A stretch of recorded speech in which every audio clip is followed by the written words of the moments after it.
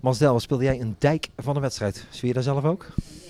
Nou ja, het ging, het ging lekker voor mijn gevoel. Ik ben er, eh, ik ben er lang uit geweest, hè, vier maanden. En eh, ik heb wat wedstrijden nodig gehad om weer wat ritme op te doen. En ik voel me nu eh, fit. We spelen vrijdag weer, dus ik was nog niet klaar voor eh, 90 minuten. Maar ik ben blij dat ik heel uit de wedstrijd door ben gekomen. En inderdaad, ik voelde me goed en ik voelde me fit. Dus eh, ik ben blij dat het zo is gelopen.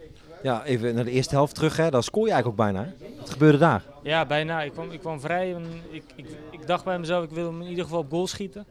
Dan eh, weet je nooit of hij erin gaat. Maar achteraf had ik hem misschien beter gewoon eh, flink door kunnen trappen met mijn vreef en dan kijken waar het schip strandde. Maar uiteindelijk ging hij er net niet in. Maar je laat je kwaliteiten dan natuurlijk wel zien, hè? Aanvallende kwaliteiten. Ja, dat is natuurlijk wat ik wil en eh, ja, wat de ploeg ook weet. Dat ik graag opkom en graag meedoe met aanvallen. Eh, uiteindelijk eh, ja, is dat een beetje kijken hoe het spel loopt, hoe, het, hoe wij het spel maken, hoe zij het spel maken. En of de kans er is om mee op te komen. En als die er is, ja, dan doe ik dat graag. En ik had graag binnengeschoten natuurlijk, maar helaas net niet. Dan even naar de wedstrijd. Je speelt natuurlijk tegen een van je beste vrienden, Luc Brouwers. Eh, ja, dan sta je bij de rust met 2-0 achter. Eh, Kwam je hem toen tegen of niet? Zei hij iets? Ja, nou, niet echt eh, in de rust, maar op het veld heb ik wel af en toe gezegd van we hadden al 4-2 voor kunnen staan. Of, maar daar was hij het mee eens. Ik heb nog nooit tegen hem gespeeld, dus ik vond het superleuk.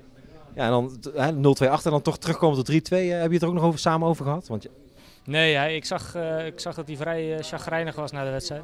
Dus ik liet hem gewoon even, ik liet hem gewoon even gaan. En, dat is ook wel eens goed, ik hè? spreek hem denk ik straks over. Ja, want hoe sta je hier nou met een goed gevoel of met een slecht gevoel? Want ja, eigenlijk eh, is die overwinning binnen handbereik. eh, Terwijl je het ook weer niet verwacht. En dan Nee, daarom 3-3. is, het, daarom is het uiteindelijk misschien wel een slecht gevoel. Omdat je eh, ja, tot, wat is het, drie minuten voor tijd sta je 3-2 voor. En als je dan zo knullig eigenlijk binnenvalt. Ja, Joren, dat kan gebeuren. Hij speelde verder echt een uitstekende pot. Zeker. Maar nou ja, weet je wat ik zeg. Uiteindelijk, Go Ahead Eagles staat, wat staan ze, vierde, vijfde. En dan eh, mag je, als je vooraf zegt eh, je speelt 3-3, dan teken je daarvoor natuurlijk. Ja, dan, Daar zul nou, je hem net hebben. daar heb je hem net, ja. Nou, Os eh, toe, is dit wel een goed gevoel wat jullie meepakken, denk ik, hè? Ja, natuurlijk. Weet je, we, we zitten echt in een stijgende lijn. eh, weliswaar niet per se qua uitslagen, maar gewoon het gevoel. Het gevoel is goed. we hebben het geloof dat we in ieder geval niet laatst gaan eindigen. Dus we willen dit vasthouden. En inderdaad, Os thuis gaan we zeker volle bak voor de drie punten. En even bevestigen, dat ziet er inderdaad chagrijnig uit. Dus Ja, nee, ik had eh, gelijk. dankjewel, wat.